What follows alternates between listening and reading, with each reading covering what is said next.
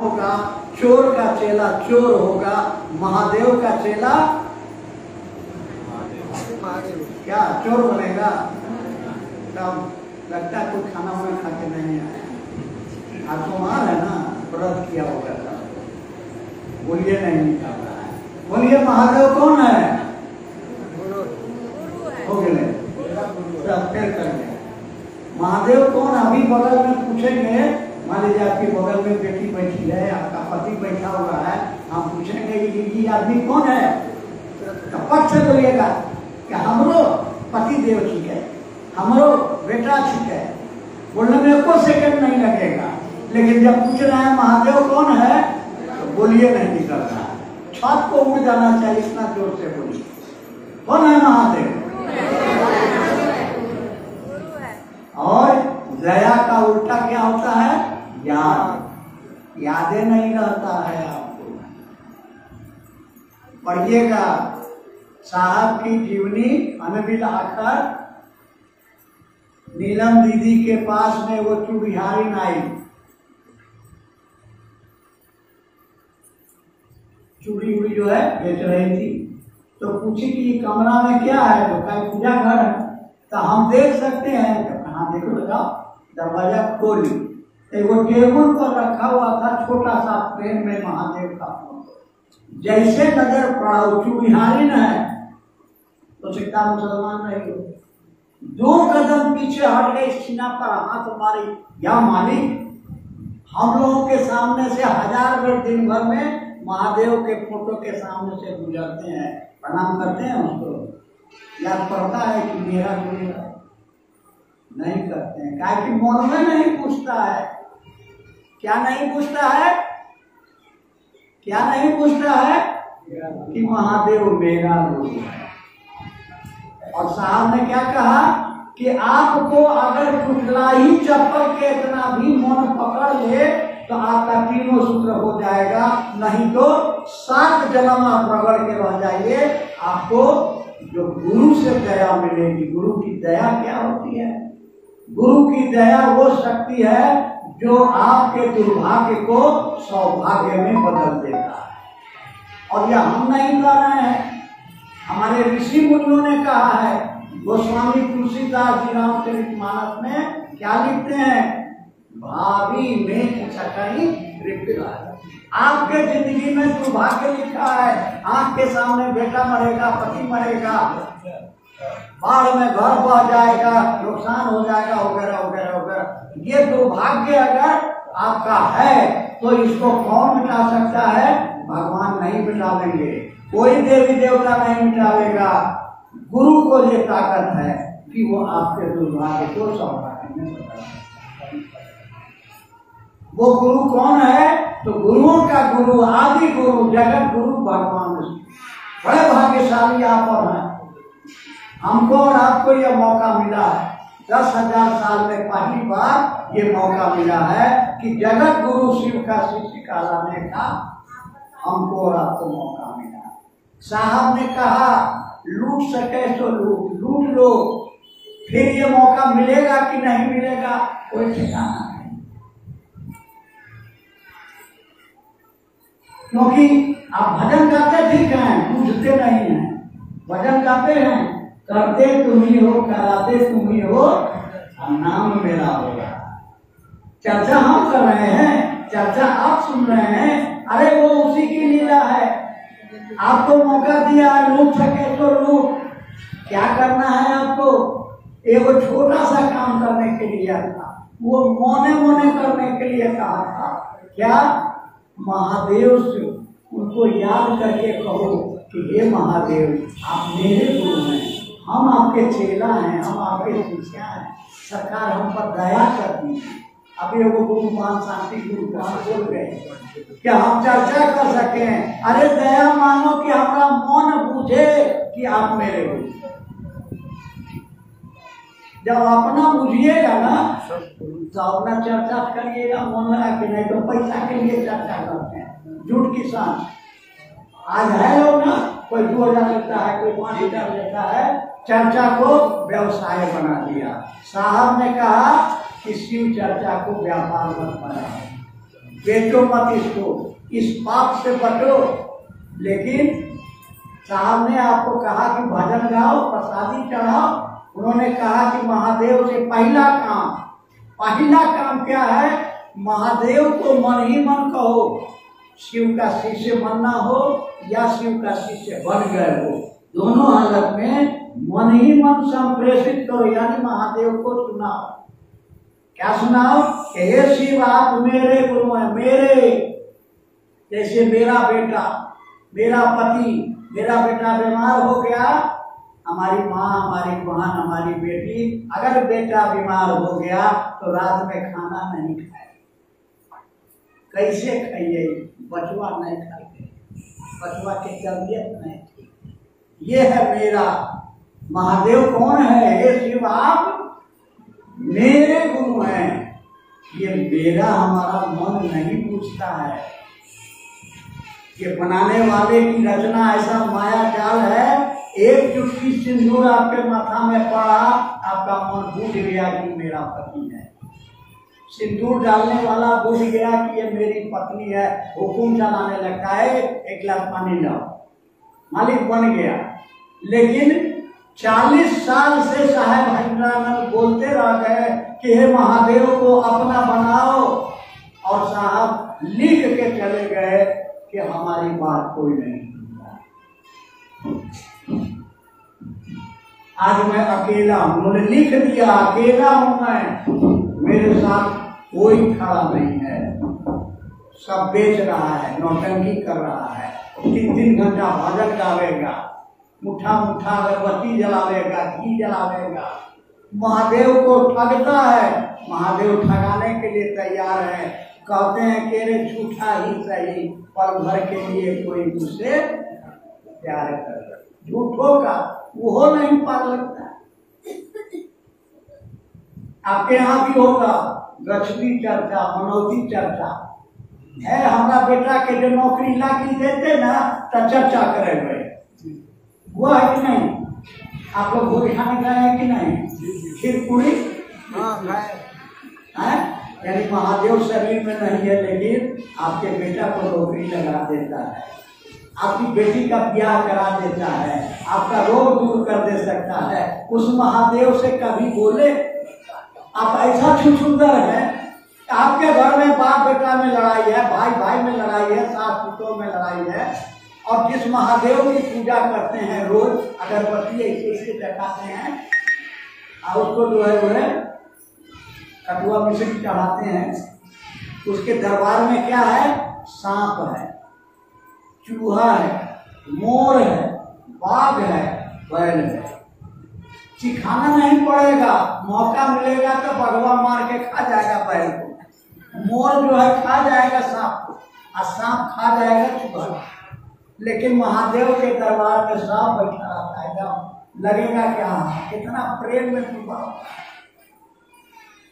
कभी महादेव से मांगे कि सरकार, जैसे आपके दरबार में सब प्रेम से रहता है, हमारा घर में भी बाप बेटा में सास पुत्रों में भाई भाई में जेठ जेठानी में सब में प्रेम हो जाए।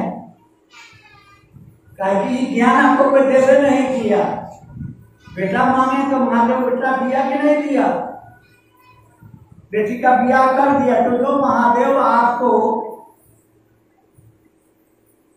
भौतिक जगत का चीज़ दे सकता है वो ज्ञान भी देगा। मांगिए तो, तो मांगना ज्ञान देता है वो तो कौन ज्ञान दिया है? गुरु ज्ञान देते हैं तो पहले उस गुरु को अपना बनाइएगा तब ना। कैसे बनावेंगे अपना? साहब ने उसके लिए रास्ता बताया। क्या रास्ता बताया?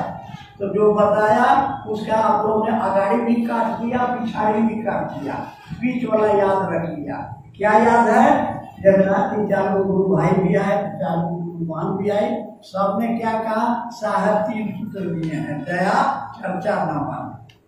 दया का क्या माने है? दया में आपको क्या मांगना है? बोलिए। दया में आपको मांगना क्या है? अब तो सुनाए कि हे महादेव, आप मेरे गुरु हैं। हम आपके चेला ही। सुनाया। अब दया कीजिए। कौन चीज़ का दया कीजिए? सरकार मेरा मन नहीं बूझ रहा है कि आप मेरे हैं। हमरे मन को बुझा दीजिए, ये है दया मांगना हमारा से ये चौकी नहीं उठे है?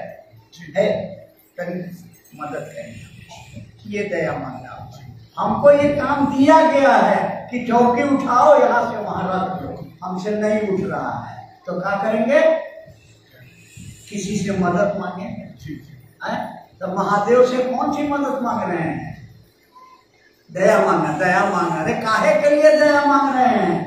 तो ये भगवान कहे कि हम चर्चा करें, तीनों सूत्र करें। साहब ने कहा कि जब तक आपका मन बुझेगा नहीं कि महादेव मेरा है, आपका तीनों चर्चा नहीं, तीनों सूत्र नहीं और जब बुझ जाएगा, थोड़ा सा भी बुझेगा कि महादेव मेरा है तो आप बोलिएगा और लोग आपका बात सुन के कहेगा हम हूँ महादेव को बोलना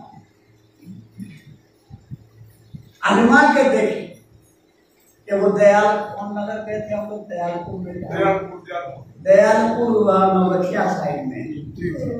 सुबह में एक गुरु के आदमी ने शिव को गुरु माना हम लोग दस बजे पहुँचे।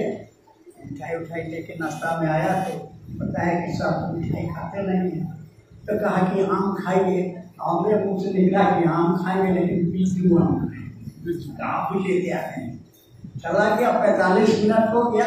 हम लोग सोचे कि इस सीज़न में कहाँ या बीजू आम मिलेगा? चला गया बेचारा को नहीं मिला होगा। तब तक देखते हैं कि एक छोड़ा आम लिए हुए बिज्जू आम। पहले इतना दे अभी गाछी में गलिए तो अब शरीर भारी हो गए अभी साथ मुसा चल से पेड़ पर नहीं चढ़े पड़िए तो वहाँ दो चार आदमी को कहे, लेकिन कोई तैयारी नहीं हुआ। अग्नि बरस गया था, आम तब पेड़ में लटकल था।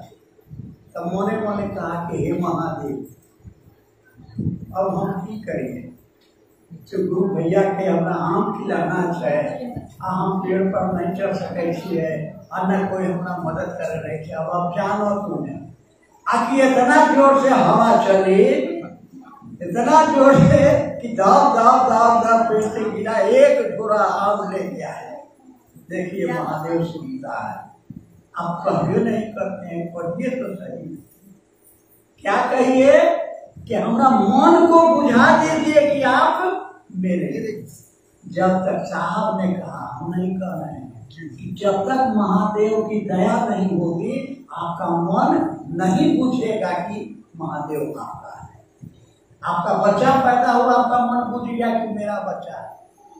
आपका मन जैसे रजिस्ट्री आपके नाम पर ज़मीन हुआ, आपका मन बुझ गया कि ज़मीन हमारा है। लेकिन महादेव मेरा है, जब तक महादेव दया नहीं करेगा, इसलिए महादेव से दया मांगना है।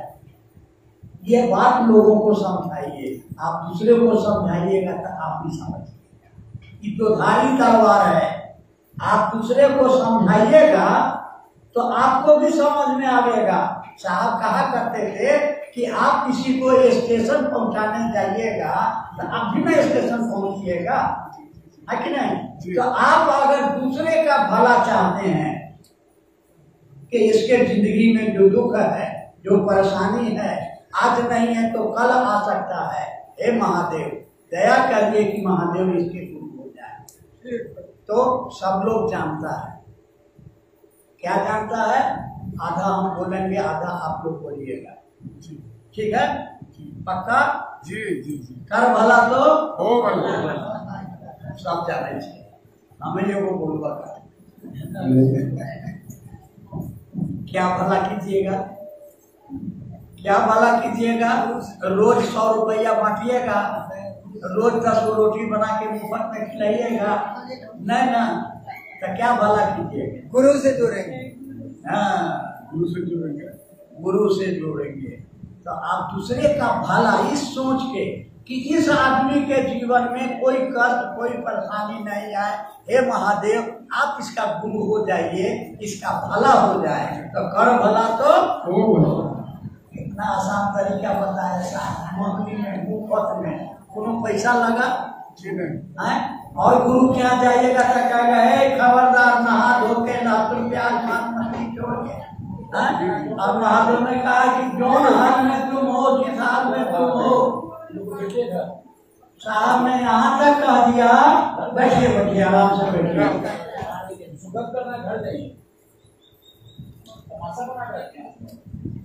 अरे भाई उसका दोष नहीं है। जब राम जी जंगल गए चौदह साल के लिए लक्ष्मण जी तीर धनुष लेके बैठे पारा पर तो नींद आ गई उनके आँख पर। तो उन्होंने तीर उठाया कि हम तुमको मार देंगे तो कहा, सरकार, हम कहाँ रहेंगे? तो कहा कि जब कहीं शिव चर्चा होता रहे, जहाँ भगवान की बात होती रहे, उसमें अगर कोई गलत आदमी आ जाए तो उसी पर सवारी कस देना। इसलिए बहुत आदमी यहाँ बैठल बैठल टूट जाएगा। उसका दोष नहीं है। कर्म फल है। लेकिन इतना बढ़िया कर्म किया है कि ये महादेव की चर्चा सुनने आ गया। लेकिन उसका बुरा कर्म जो है, उसको सुनने नहीं दे रहा माइंड को भटका दे रहा। क्या कीजिए? अरे आए हैं, जिस काम से आए हैं, वो काम को करो। आए हो चर्चा सुनने, चर्चा सुनो। अगला क्षण ज़िंदा रहोगे। गारंटी है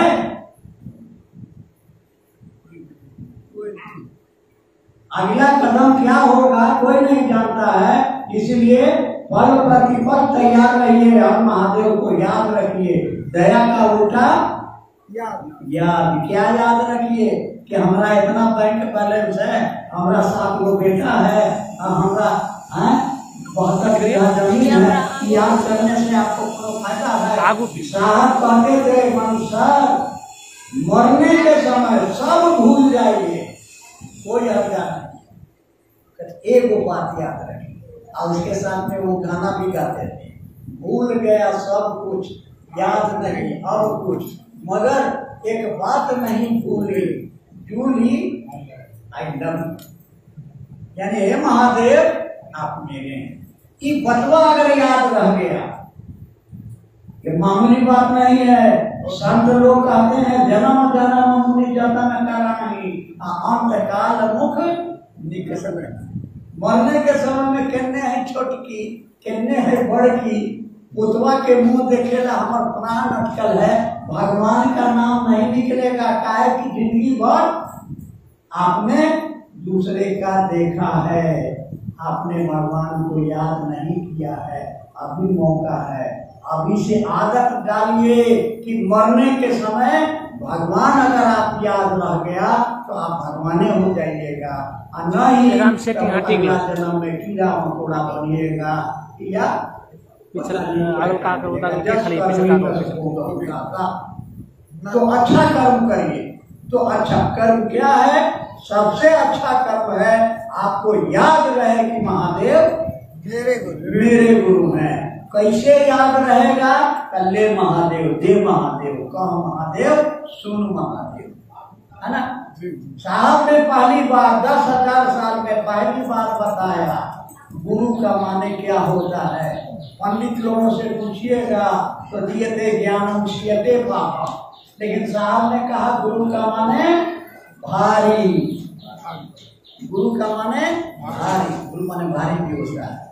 गुरुत्वाकर्षण। धरती में अपनी तरफ़ चीज़ों को खींचने की ताकत है।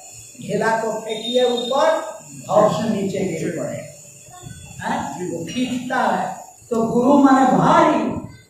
ताकि गुरु को भारी बनाओ अपनी ज़िंदगी में। और साहब हमेशा कहते थे, मैं और मेरा महादेव जिंदाबाद। लेकिन नॉट मिजाज था। मैं और मेरा महादेव भरोसा करो किस पर? महादेव। महादेव पर। भरोसा मत करो कि हमारा इतना बैंक बैलेंस है। भरोसा मत करो कि हमें पहलवान चाहिए भरोसा है अगर तो एक ही चीज़ का भरोसा है। आपको दो को उदाहरण सुनाते हैं।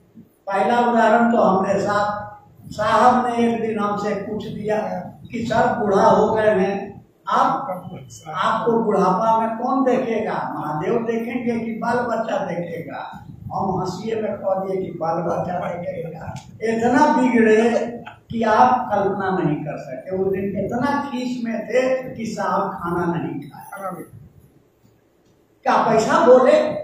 महादेव पर आपको भरोसा नहीं है। अब बाल बच्चा पर भरोसा है। अब झूठाऊ बोलते कि हम महादेव देखेगा। आप झूठे बोलते, लेकिन बोलना चाहिए जो हम से निकल गया। चार पाँच दिन के बाद हमारा सुबह छः सौ हो गया। बोले, कहते, ये साहब गणपति देखेगी, वहाँ देखभाल करेगी। नहीं चले फिर दूसरे दिन फ़ोन किए साहब कि जाइए, बाहर मायागंज हॉस्पिटल में भर्ती हो जाए अपना बेटा को, वो बेटा तीन लोग था उसको कहे छुट्टी नहीं है। पत्नी को कहे तब बोले कि हम आपको लेके कहाँ जाएँगे, हम आपको अली का लगेंगे तब गुरु भाई को पकड़े हॉस्पिटल में डाल दिया दूसरे दिन फिर साहब का फ़ोन आया, कहाँ है तो जी हॉस्पिटल में? कौन है साथ में? पत्नी है? तो ना बेटा है? तो ना तो कौन है? हम कहते गुरु भाई। तो आप तो बोले थे कि हमारा बाल बच्चा हमको देखेगा। तो जी साहब ने हमको समझा दिया। आपको भी इसे समझिए। आपका शरीर मरिएगा तो नहीं जाएगा साथे न बेटवा जाएगा न पति जाएगा न धन जाएगा न दौलत जाएगा न कहना जाएगा। कौन जाएगा? गुरु। महादेव आपके साथ जाएगा आपका गुरु आपके साथ जाएगा। तो याद रहेगा कब न साथे जाएगा। मरने के समय याद पड़ेगा। कहने है पोतोबा कहने है पोतिया आ कहाँ पैसा मुका के रख ले। हैं? इसलिए अभ्यास का ज़रूरत है। करत करत अभ्यास सुजान अभ्यास रखिए, इसलिए जहाँ बैठिए, ले महादेव ले महादेव। कह महादेव, सुन महादेव। और इसका फ़ायदा होता है। आपको नहीं पता है, आपके मुँह से निकली वाणी से किसी को क्या फ़ायदा होता है? इसका उदाहरण बैठे हुए हैं, ये राम नारायण जी। आज से 20 साल पहले लतीपुर में चर्चा हो रही थी। एक कागज़ पर इनका नाम लिखे, एक आदमी रखा, हमने उसकी घोषणा कर दी। बड़ा खुशी हो के गया और इनका दोस्त इनके पास में कहने के लिए कि तोरा नाम के घोषणा करा दिए हैं, अब शिव शिष्य हो गए ये हमसे मिलने आए। हमने इनसे, हमसे उन्होंने कहा कि देखिए, हम तो कम्युनिस्ट माइंडेड हैं, हम भगवान को। उनका कोनो बात नहीं है। अरे कोनो आपका ज़मीन हमके वाला नहीं करवा दिए हैं। मत मानिए महादेव को। जाइए। लेकिन एगो बात याद रखिएगा। ध्यान से सुनिएगा आपकी। बोरा में पैसा रखा रहे और आपके देह पर एक नया खर्चा नहीं हो। परिवार में दस, बीस, पच्चीस, पचास, जो भी आदमी हो, कोई आपकी मदद नहीं कर सके। चारों तरफ़ से हार जाइए, उस दिन भगवान शिव के गुरु रूप को याद कीजिएगा नहीं क्या जो मांगेगा वही देगा। और आज बहुत बूढ़ा बूढ़ी है जो कहता है कि हम कुत्ता रहते ना तो अच्छा कार्बेट बाल मारता है कि पैसा कमा के रखे काहे नहीं हैं? पैदा कर दिए। हैं काहे पैदा किए? कहने कहते हैं कि हमको पैदा करो। मरता है। हम पैसा बहुत को मिला है। रोता है। तो बच्चा शराबी निकल गया है दुआरी निकल गया है, कोनो काम नहीं करता है, ज़मीन बेच देता है है तो इन्होंने आपको कोई मदद नहीं करे तो महादेव को याद कीजिएगा, गुरु के रूप में, या गुरु के रूप में वो दया करते हैं, गुरु के रूप में वो आपके कर्म फलों को तोड़ते हैं, आपको जीव से शिव बनाते हैं। जाइए, चले गए। तीन महीना के बाद इनको लगवा मार दिया दवाई दारू चलने लगी। अकेला संतान, देखो बेटा बाबू जी को जिसने जो कहा, इधर मान जाइए, उधर मान जाइए, वो भगवती के यहाँ जाइए, वो भगवान के जाइए सब जगह से तभी लेके आए घंटा घंटा लेके आए बहुत लेके आए। आए इनके लोगों मानो सुबह शाम इनको सुना रहे हैं श्रीमद भागवत कौन जी कराता है? दुर्गा सप्तती लेकिन कोई फ़ायदा नहीं। और इसी क्रम में दो बार और अटैक हो गया, तीन बार हो गया, शरीर एकदम लकड़ी हो गया। इंदिरा गांधी इंस्टीट्यूट पटना में ले गए। डॉक्टर ने कहा कि इनके लिए धरती पर कोई दवा नहीं है, ले जाइए। पैसा तो है, लेकिन अब दवाइए नहीं है, तब पैसा तो परिवार में तो लोग है, लेकिन कोई उपाय, कोई काम नहीं कर रहा है। गाँव में लेके आ गए गाँव की कुछ महिलाएँ आती थी, आँसू बहा के चली जाती थी। इनको भी दुख होता था।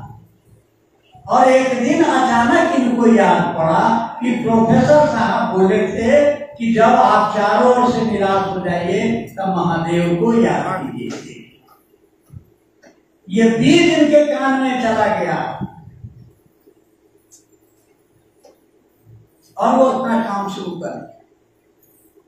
क्या, इन्होंने महादेव को याद करना शुरू किया, प्रणाम करना शुरू किया, बोल सकते नहीं थे। और धीरे धीरे एक महीना, ग्यारह दिन में ये ठीक चलने फिरने लगे। अपने माता पिता को बैठा के बोले कि जिस राम नारायण को आपने पैदा किया था, वो मर गया। ये जो आपके सामने शरीर खड़ा है कि महादेव का दिया हुआ शरीर है और जब तक ज़िंदा रहेंगे हम महादेव का काम करेंगे। जागो जागो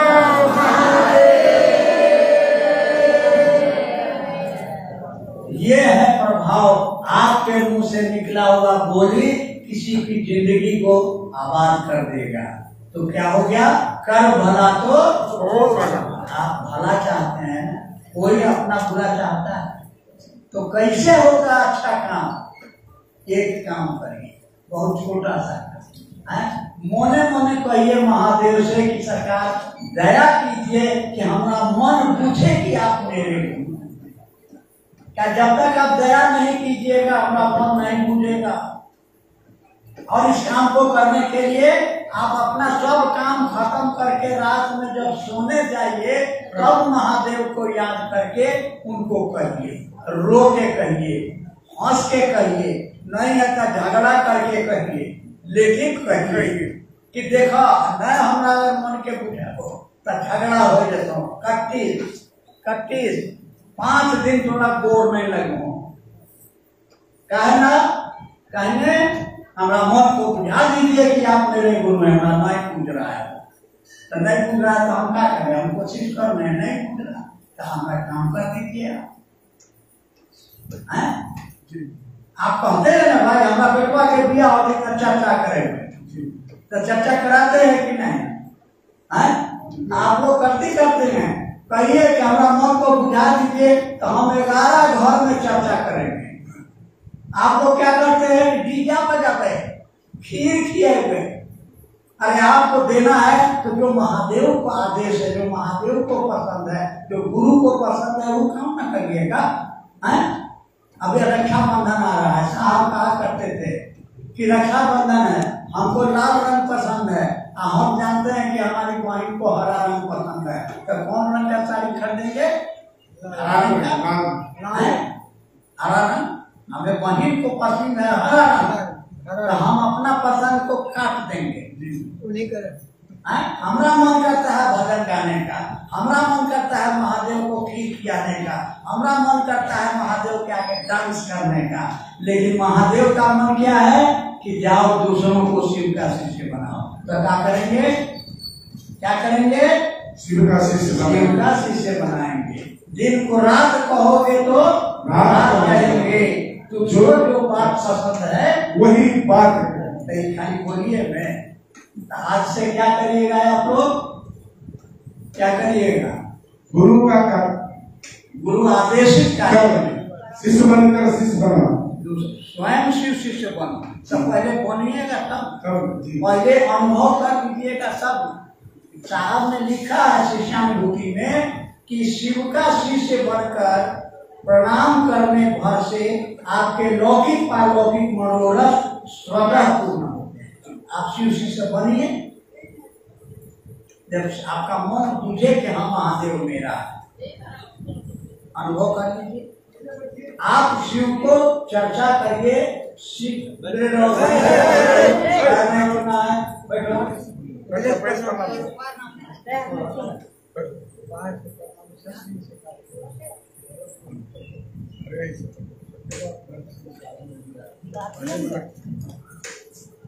तो पहला सूत्र को दिमाग में बैठा लीजिए जी। भोरे रात में सोने के समय करना है भोरे नींद टूट गया तो फिर महादेव को याद करके उनको करना है।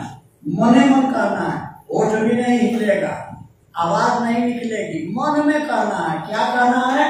कि हे शिव आप मेरे गुरु हैं हम आपके शिष्य हैं हम पर दया। क्या दया कीजिए? मेरे मन को समझा दीजिए कि आप मेरे हैं। हमारा मन बुझे कि जैसे हम समझते हैं कि मेरा बेटा, मेरा पति है, मेरा घर है बेटवा बीमार पड़ेगा तो आपको खाना अच्छा नहीं लगता। है? तो हमारा महादेव, आपको इस बात का चिंता नहीं है? सावधान को क्या चिंता किताब में लिखा है कि शिव जगत के गुरु। धरती पर कोई चेले नहीं एक सौ इक्कीस को नाम आता है दुर्वासा थे ददीची थे, अगस्त थे। उसके बाद पाँच हज़ार साल में कोई चेला का नाम नहीं है। ये तो बहुत बड़ा मज़ाक है। कि हमारा बाप को कहता है कि तुम्हारा बाप बहुत बड़ा डॉक्टर है?